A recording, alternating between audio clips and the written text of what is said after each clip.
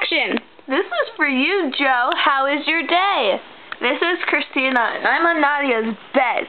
But you wouldn't know because you've got... Ah, what? Moosey. My butt is juicy.